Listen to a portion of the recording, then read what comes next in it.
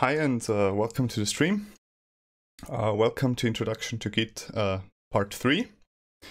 Uh, today we're going to talk about um, some features that are not necessarily to be used by Git, but are uh, quite handy when you're trying to analyze, uh, analyze some changes that have been introduced into your code. If you want to um, get to know who made which changes, um, if you want to trace down a bug or uh, a certain commit uh, for which you want to know um, a certain change has, has been introduced.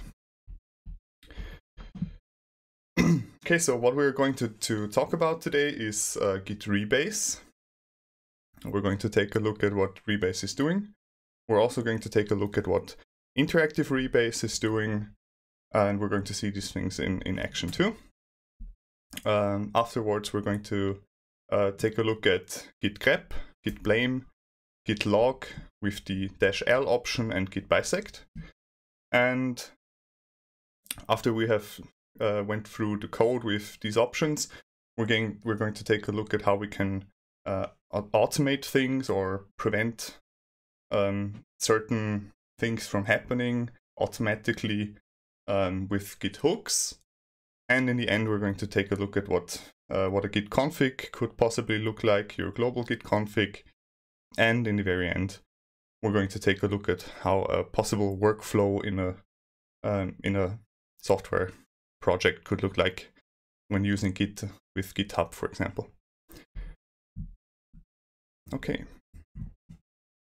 So I think, oh, here are the old dates. Okay but I think we all remember what we did yesterday and the day before. Okay, um, so let's start with a very lightweight um, topic, um, Git tags. Yesterday we have uh, talked about um, branches uh, mainly, and I mentioned that branches are basically just a, a, another reference that you're introducing that you can work with and that you can um, continue working on so that you get a different strain of uh, commits. Basically a different version of your project and a different history. Um, Git tags work very similar in, in, in, in the sense that they are introducing another reference, but they are not doing all of the additional things that branches are doing. So a git tag is just uh, basically a named reference to a commit hash so that you don't have to remember that six, eight, ten characters or something, you're just going to remember, for example, a version um, name, for example, 1.0 or whatever. Um, with git show, with that name, you can then, uh, as we already did so far, um, take a look at that uh, particular commit uh, and inspect uh, inspect all the changes that have been introduced there. Um, with git tag dash a, you can even annotate that. That is very useful if you are, for example, tagging a new release of your software in, and you want to um, list all of the new changes that have been introduced. Uh, these tags need to be pushed separately. Um, this is just so that, that you know and that you uh, don't get confused by why your tags are not being pushed while you're doing a git push um, you need to give git push the dash dash tags um, option or the tag name that you want to push in order to specifically push these uh, new references that you introduce. Let's take a quick look at uh, how that would look like. Um, I have uh, taken our um, new feature branch that we have worked on yesterday and I have already introduced um, three new commits um, so I introduced a new line for, for the new feature. I am calling the new feature now in the main routine, and I'm printing the app name. Uh, uh, I'm, I'm, I'm following a new line after the printing the app name. Um, so, for example, we could um, could be that calling that new feature in our main routine is something which we think um, should be released. So we could tag this thing with a, a version number and give some description um, about what happened in that new release. So let's do that.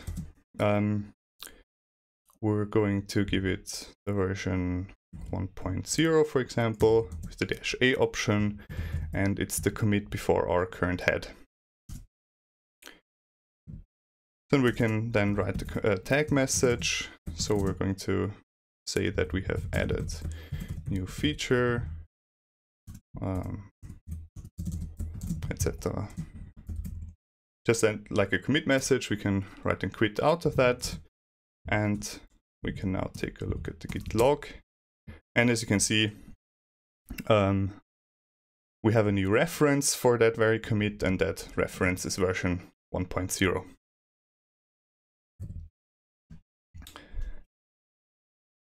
Okay. Uh, maybe let's take a look at that as well. In order to list all of the tags, you can give it the dash L option. And currently we only have uh, one tag in there, so we only have that one version here. And as I said, you can then just simply git show version 1.0 and it will give you um, the list um, that I've added. So we then know all of the changes. We can take a look at all of the changes that have been introduced in version 1.0, as well as the particular commit that we've tagged. Okay. Uh, now let's take a look at rebasing.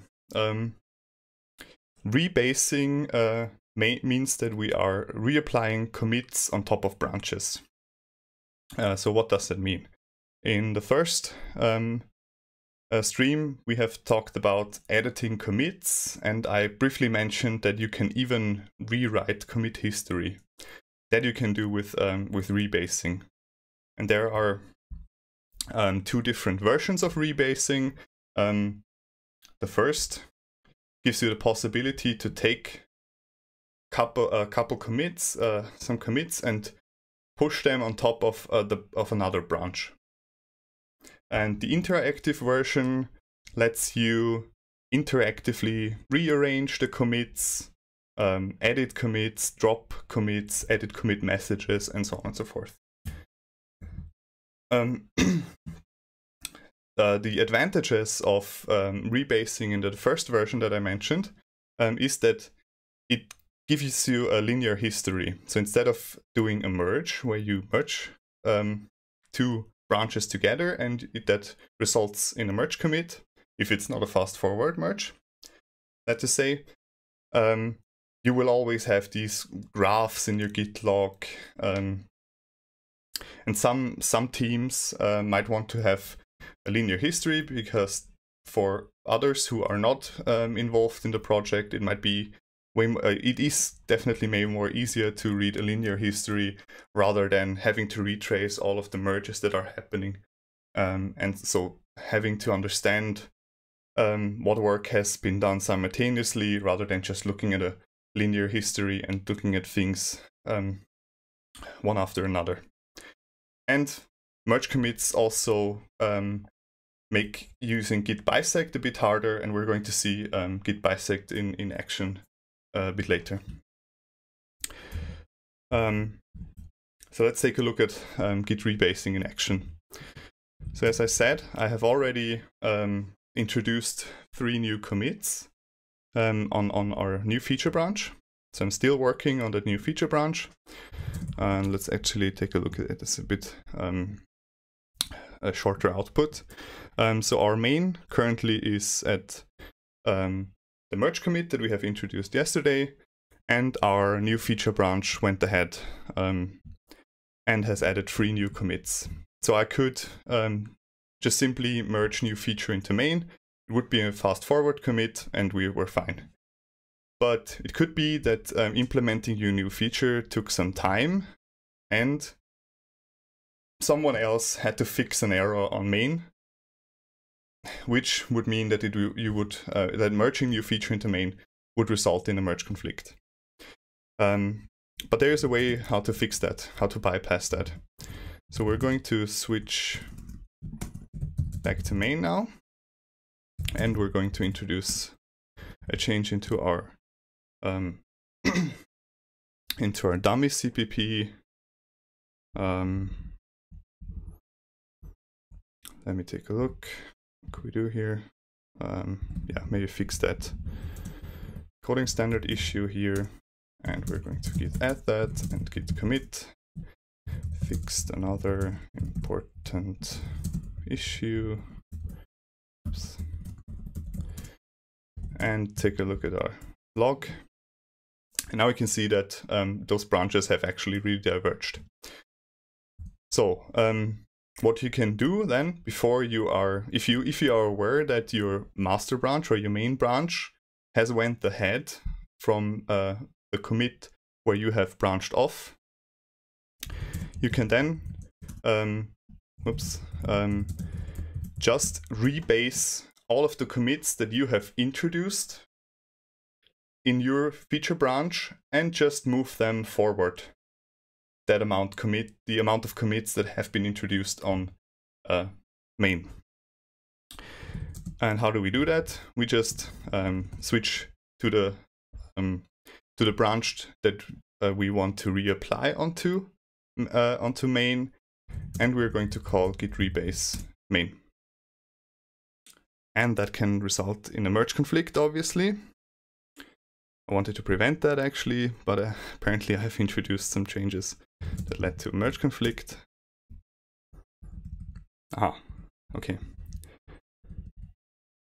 Okay, yeah, Git thinks that that is a merge conflict. But I guess that's quite easy to fix. So that should be the final version that we wanted to have, or what, we want it to be like, so we can quit and take a look at the status, git add dummy, and git commit. And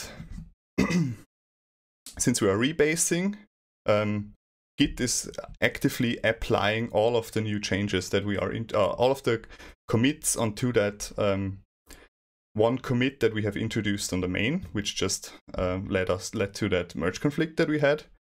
So um, Git knows that there is a commit that it wanted to apply, but that commit led to the merge uh, to the merge conflict.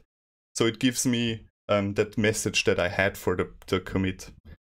So I can simply um, uh, write and quit and tell re git rebase to continue. And git rebase now uh, told me that it has successfully rebased and updated the reference of my um, new feature branch. So what happened? Um, let's take a look at the log. We can see that instead of um, having these two um, branches that both have diverged from uh, our our merge merge commit that we have done yesterday. All of the uh, all of the commits that I have had introduced a new feature are now on top of um, the commit that I've fixed.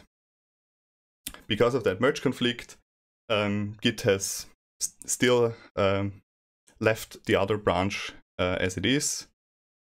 Um, since the changes there are different because I actually changed the commit when resolving that uh, conflict.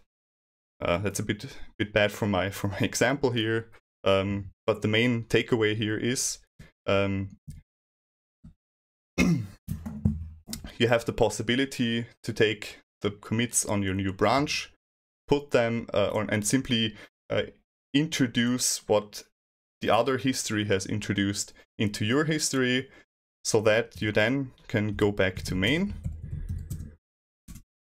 Oops. Git switch main and git merge the new feature.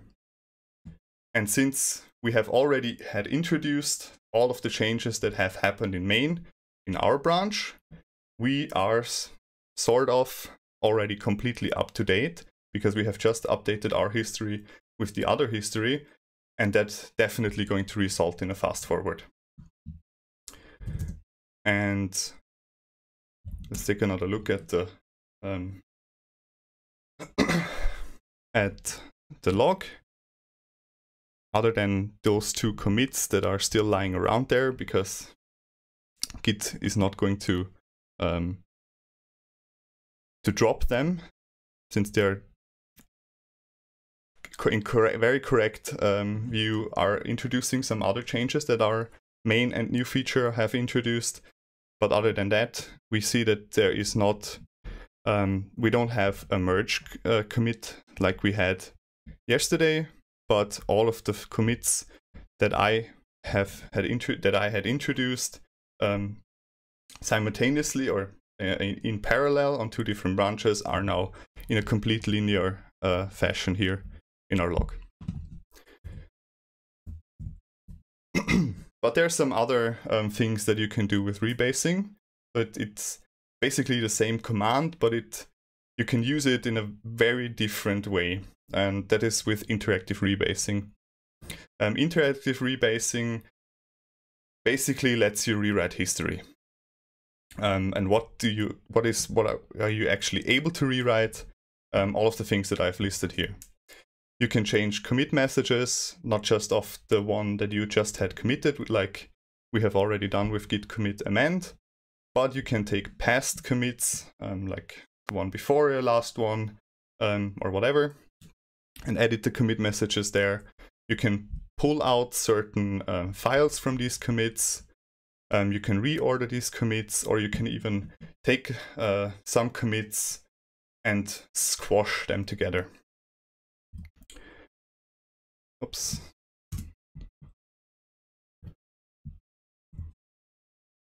Uh, let's see that in action. Um, we do have two commits here, which are both uh, introducing a new line. Printing the app name should also print a new line, and new feature needs more new lines. Um, so what we can do here is we can call git rebase with the dash i option. That means that we want to interactively rebase and we need to tell uh, Git rebase uh, how many commits um, we want to uh, introduce in the interactively in the interactive rebase. And we do that by passing it a commit. So let's give it head minus four. And this will open up your editor uh, and basically a help menu with what you are able to do with Git rebase. As you can see, um, it starts um, by picking all of the commits that means that this commit should be, in the end, after we're done with rebasing, that commit should be um, should be picked as is, as it is here. Um, the commands, like the help, it just says use commit. Um, if you are to replace that with reword, um, as you can see here with the command, but with an E, for example, you could just um, edit the command. And how is that going to work? Rebase is going to apply, reapply all of the commits, but it's going to stop and just let you restore some of the files, meaning excluding them from the commit, and so on and so forth.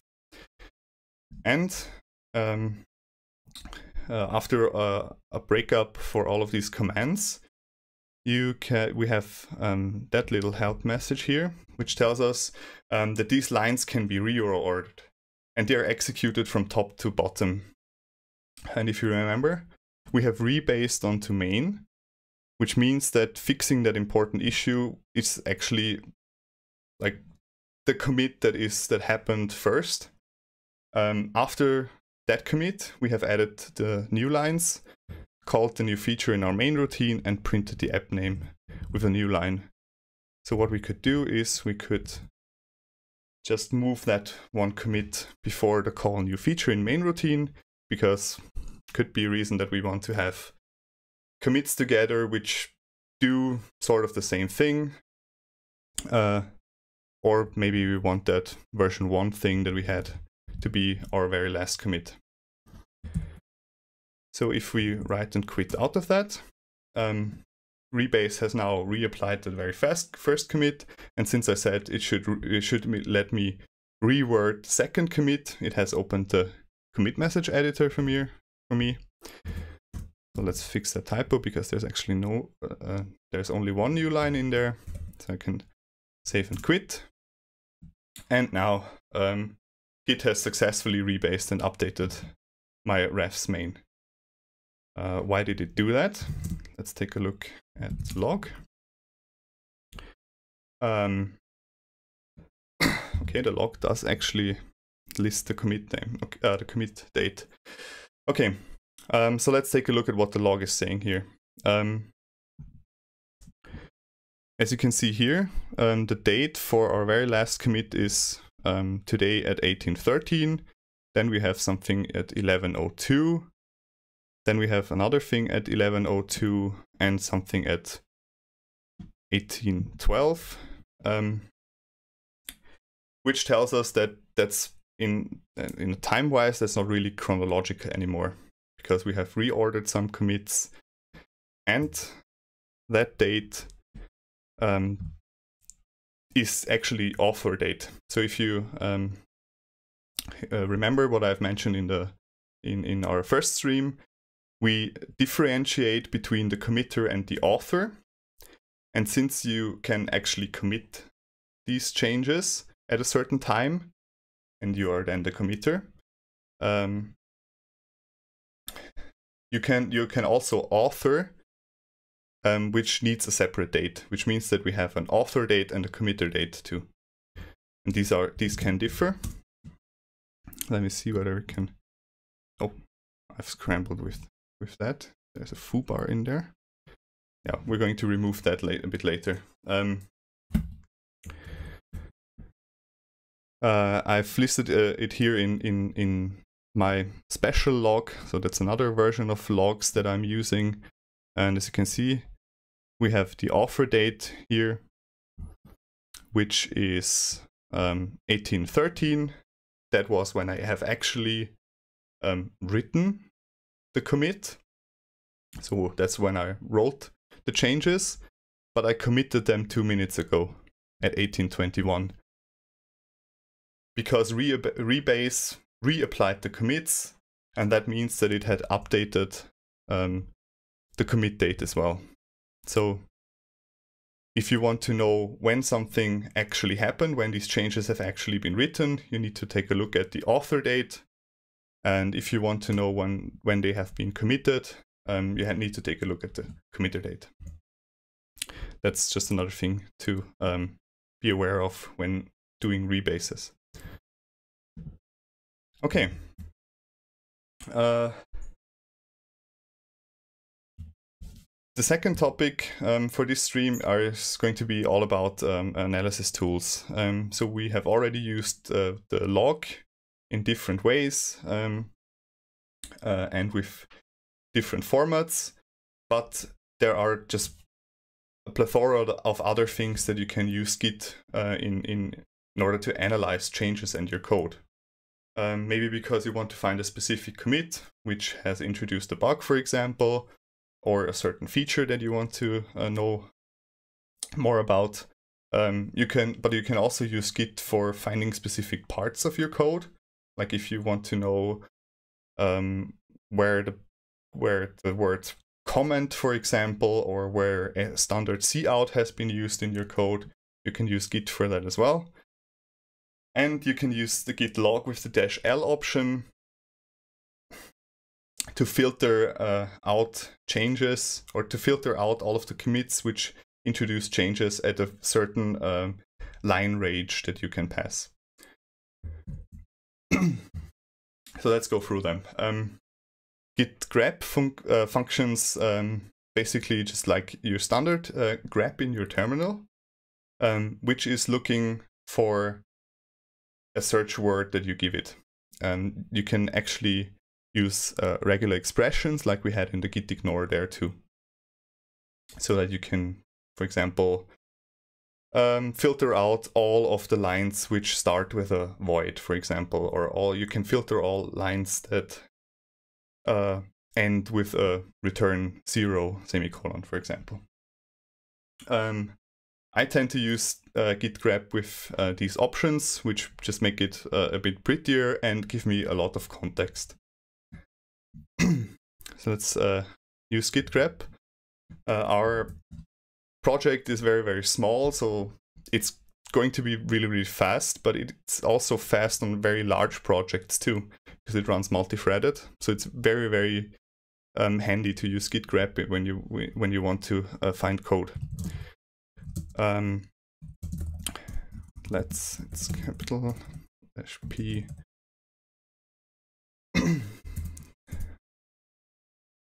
uh, the padding. Um, what do we want to search? Search for.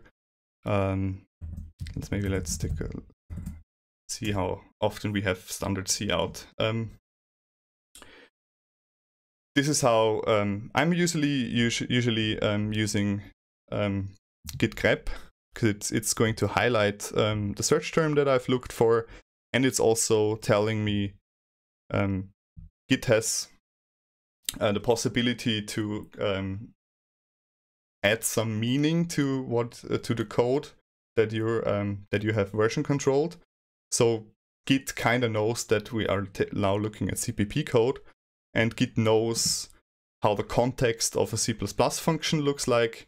So with the um, function context and heading option, it actually gives me the complete uh, function where I've called stdc out and apparently some other junk that shouldn't belong there. So it's not perfect, but it's working.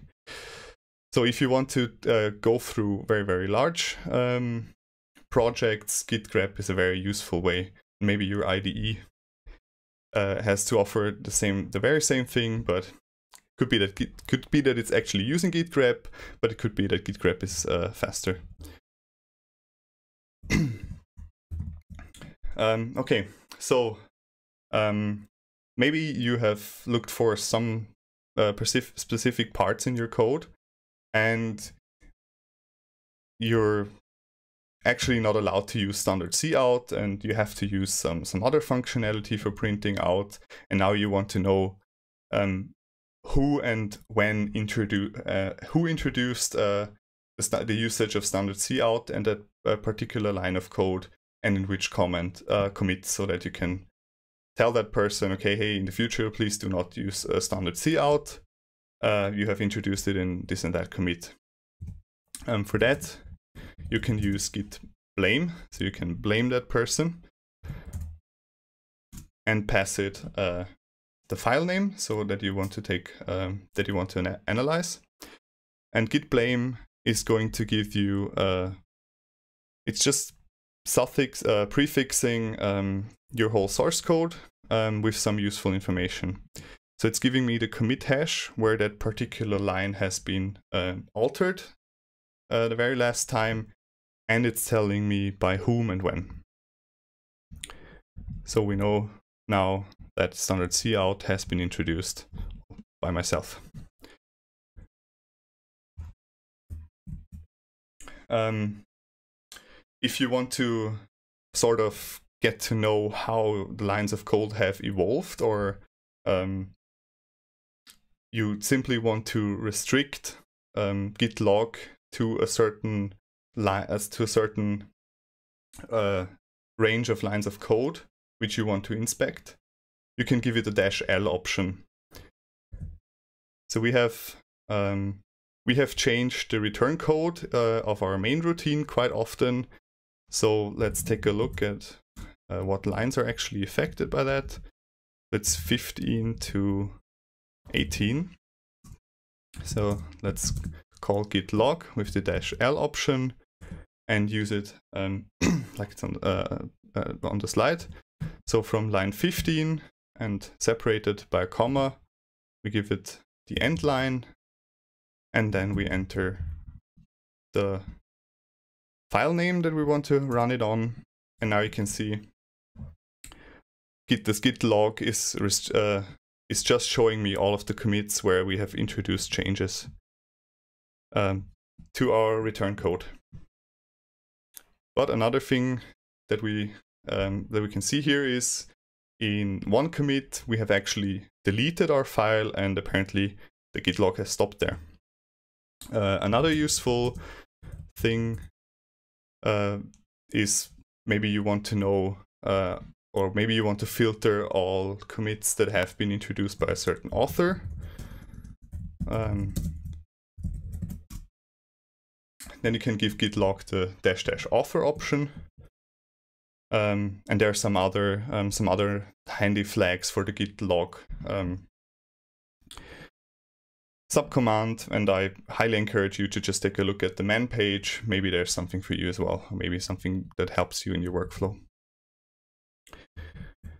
Okay, um, so we have now looked through um, the code in order to find specific lines. We have now we have also um, traced down the evolution of certain lines of code, and we have also uh, we are now also able to um, blame persons uh, uh, line by line. So we know now we are now also able to identify who made the last changes on a line of code. But maybe uh, we want to do something which is a bit more involved, namely tracing down a commit which has introduced the bug. And for that, we can use git bisect.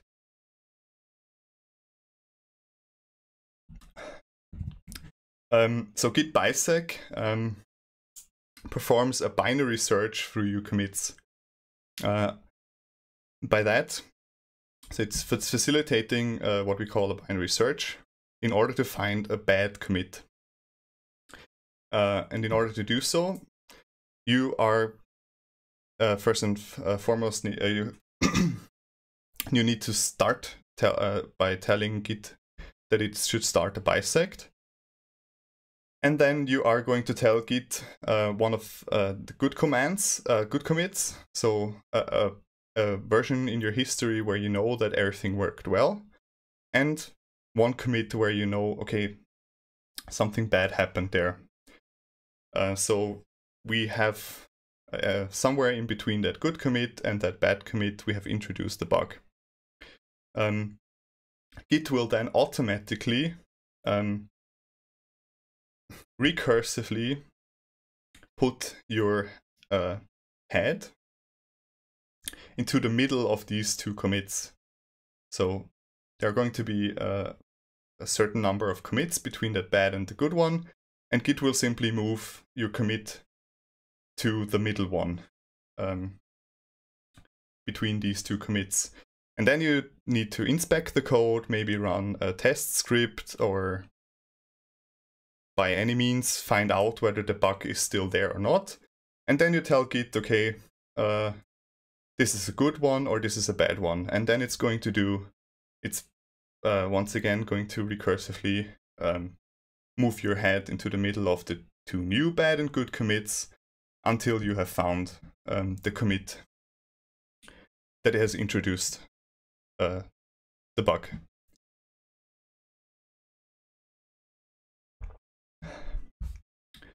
Uh, so uh, let's take a look whether we can come up with um, some something interesting about our code. So we don't really have any bugs in there, um, but maybe we can use the the return value of our main routine in dummy.cpp.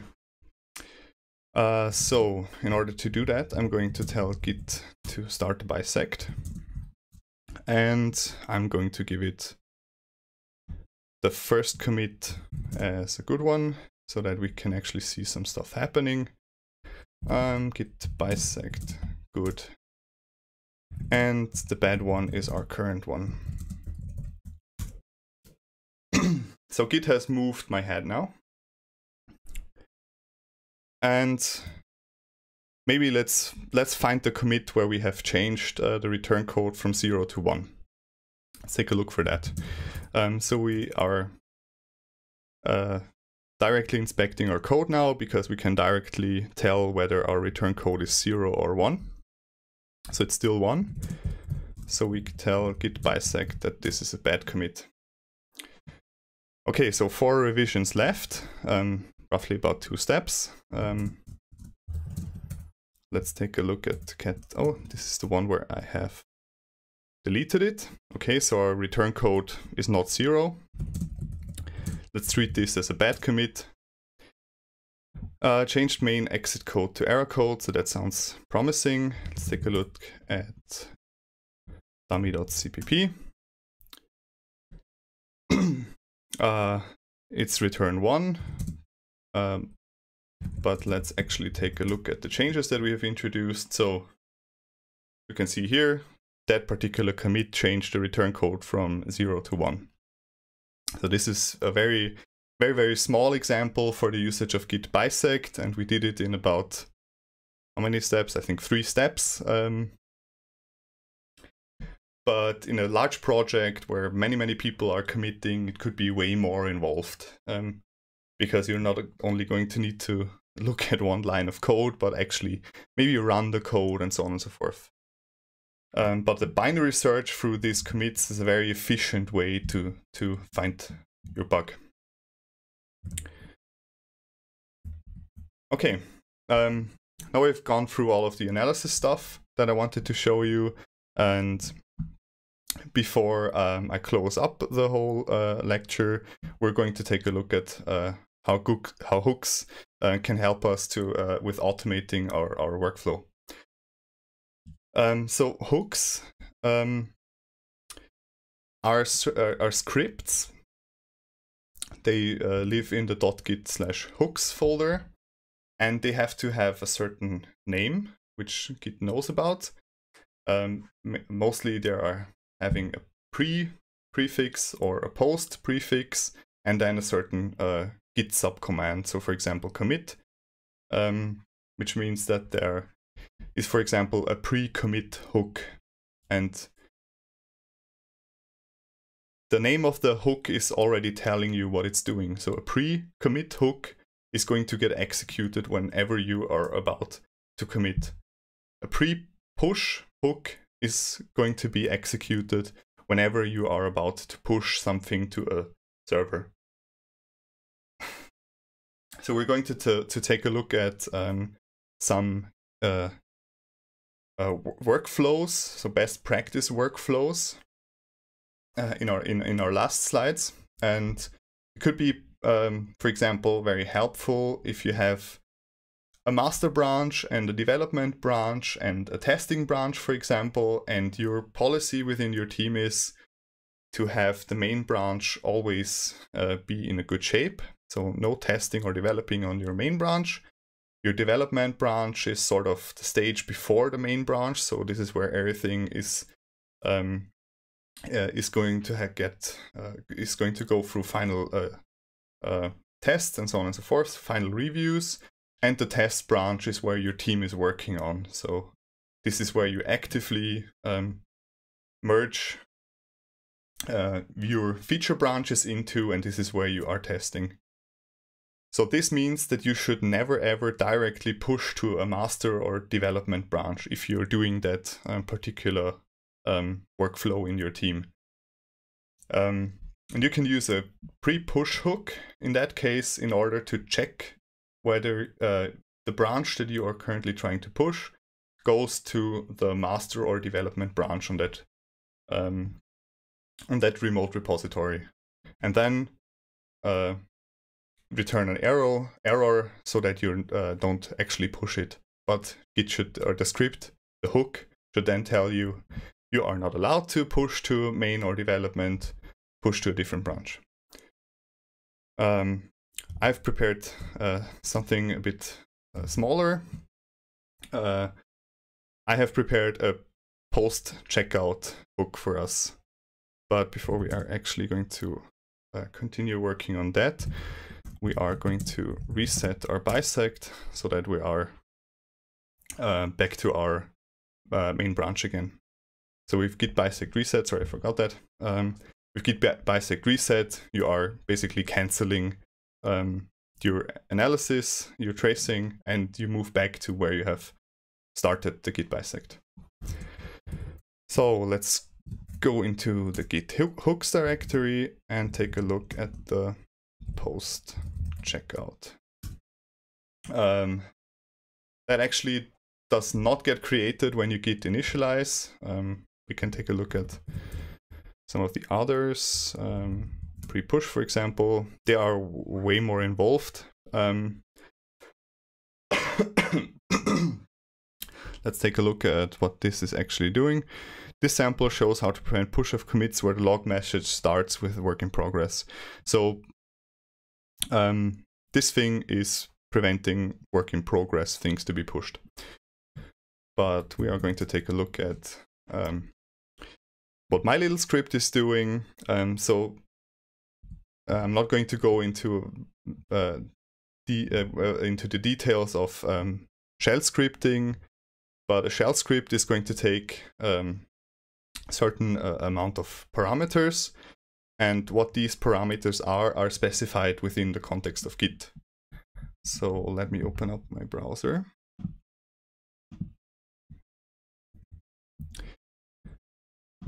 And I'm on the Git um, SCM page. So this is where all of the documentation documentation for Git is, and I am at the documentation for hooks, and we are going to take a look for our post checkout. So here's a description of the post checkout hook, um, and the documentation tells us that this hook is invoked when a git checkout checkout or git switch is run after having updated the work tree. And it's given three parameters, the reference of the previous head, the reference of the new head, and a flag indicating whether the checkout was a branch checkout. Okay, perfectly fine. But what we're interested in, interested in is that it's going to give us the reference of the new head. So basically where we are switching to. And we're going to use that. Um, so the documentation said that the second um, parameter given to the script is the reference of the new head. So with the dollar $2 here, I am refer um, I'm picking the second parameter um, that the script is receiving. And then I'm just going to um, echo last changes made on this branch. And then I'm going to go and git show and we're passing in the reference of our new branch. So we're taking a look at what changes the last commit on that branch has introduced, and then we're piping that into cat so that just so that um, my pager is not opened and I get the um, changes directly in my terminal. So let's um, write and quit. And in order to make any of these um, hooks actually working, you need to change mod plus x for uh, that script. I have already done that. That's why it's green in my terminal here. And then you need to rename it. So we are going to rename it from post checkout sample to simply post checkout.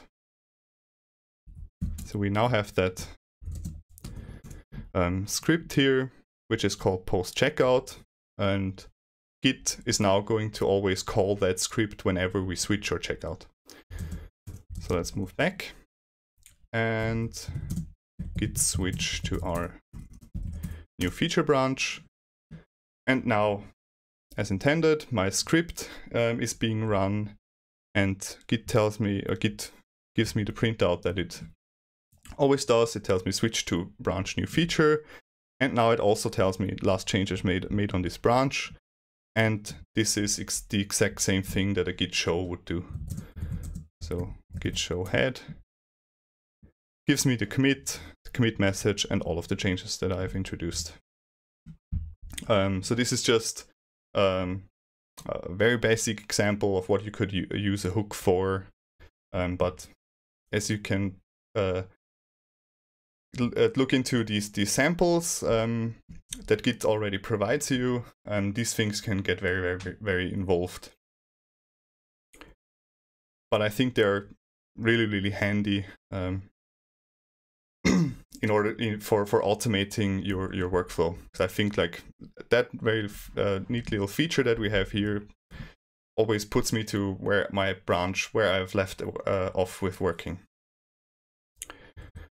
Okay, so this was uh, the last feature that I wanted to show you, and I uh, want to wrap up with taking a quick look into git config, uh, especially what my git config looks like, and you can also take a look at how you uh, change things. Um, so your git configuration file will be in your home, if you're using Linux, it's going to be in your home directory and it's going to call to be called .gitconfig, and this is your global configuration file. So if you git config uh, with the dash dash global option, Git will always just simply add the changes that you have introduced with the command in that global git config here. If you are calling git config with the dash dash local option, which some of you might have already done because I think it's in most of the of the step-by-step tutorials that you uh, that you go through um, when you're using GitLab at the at the TU Graz. Um, if you use it with the dash dash local option, it's just going to add these changes to the .git slash config file within your local repository. Uh, and there are actually lots and lots of things that you can change in there, and we can take a quick look into mine. Um, but it basically um, gives you the, the, the, the possibility to um, add aliases so that you don't always have to type in git status, for example. You can abbreviate this to a git st, for example. Or if you want to commit, you don't have to write out git commit all the time, but you can just simply use git c, for example, uh, and so on and so on. Um, all of the colors that you have seen while um, while I was showing you um, Git in my terminal, I have uh, set this also via my global config. And then you can change um, behaviors. We have seen this in action yesterday um, uh, when I was uh, changing the conflict style um, of merges. So I have changed the conflict style in my global on a local level to the merge option, which just gave me the changes that the conflicting branches have introduced, which I didn't really want. But Git has another option, the diff3 option that I have globally set, which is showing me the changes that the, both, both of the branches have introduced, but also um, where they have um, diverged from, so their common ancestor. Sorry, uh, already um, said. Oh, there's uh, an old thing in here. So unstage, oops, um, unstage would be a, a, nice handy alias that we could have used, but Git has already introduced restore, uh, which kind of makes that obsolete. Um, but one example here would be that you can set an alias, st for status, for example, um, or under um, certain categories, you can also uh, alternate um, the behavior of Git. For example, you can, under the merge uh, section, you can set the FF option to only, and that would mean that Git would only ever do fast forward merges. So you would never ever um, consider um, doing a, a true merge if you set that option. let's take a quick look into my messy git config. Oops.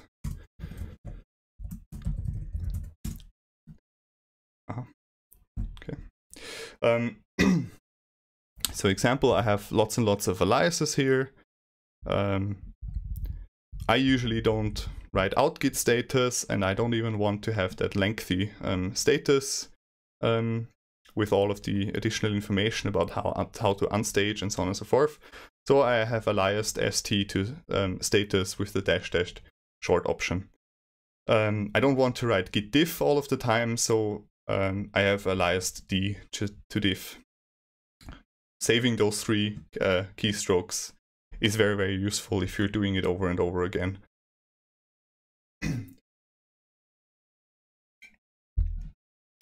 and as you can see here too, I'm currently um, trying out different um, versions of the log. So you can just um, specify different aliases for different logs where you change the um, uh, the format option for git log until you have something that you really, really fancy and that you like. then we have um, different uh, sections for coloring. Um, for example, I wanted to um, always um, match my status colors with the things that I have on the slide so that it gets a bit more intuitive. So you can change, um, edit, changed, and untrack to whatever um, style you like. You can, I don't know, use a traffic light system analogy here, for example. And some other things um, would be merge. I have actually set the merge tool, which is vimdiff, but I don't use it, as I said yesterday. And the merge has the conflict style option set here to these three. So you can directly modify that git config file here, which I'm usually doing, but you can also use git config with the dash dash global uh, option or the dash dash local option. Okay, um, so that basically brings me to an end. I just uh, uh, it brings me to the end uh, of all the Git related topics or the Git only related topics, and there's just some um, there are just some few things um, with respect to workflows that I want to mention um, before we uh, close the lecture. Um, so Git offers um, lots and lots of um, different ways to manage your code. There's no specific way how you need to um, how how you are committing. So it's just um, basically an interface to all of the um, things that we have seen uh, the day before yesterday and yesterday. So moving the different references, moving files between the uh, different stages, and so on and so forth. But how you specifically use them is is up to you. So do you just um, use short git commit messages or do you really describe what or what the commit is introducing? Um, do you use do you reuse branches or do you um, tend to open branches and throw them away after you have merged them? None of that is really um, written down anywhere. It's nowhere carved in stone. So um, you really have to uh, come up with your own workflow or um, comply to the workflow that your team is setting. Um, the difference between merging and rebasing is one of these um, conflicts. So there's uh, not really a war, but there are certain conflicts online uh, about the advantages and disadvantages, respectively, about using merges or merges with the uh, with rebasing like we have seen it, um, or rebasing only. Um, and these workflows should really be discussed at, at the start when you are working with a team. You should um, tell them, okay, we are going to use GitLab, for example, for this and that project, um, for this and that lecture. Um, I don't want any of us to be able to change the main branch, for example, so please all introduce that hook so that you don't actually accidentally push to main, but let's all work with feature branches. And whenever um, one of you is done with his or her work, we're then going to use, um, in, in the context of GitLab, they're called merge requests. We're going to open up a merge request where we can discuss or you have another pair of eyes look over the changes that you have introduced, and some other member of your team um, is then has then reviewed your changes so that um, you don't accidentally introduce bugs or whatever. Um,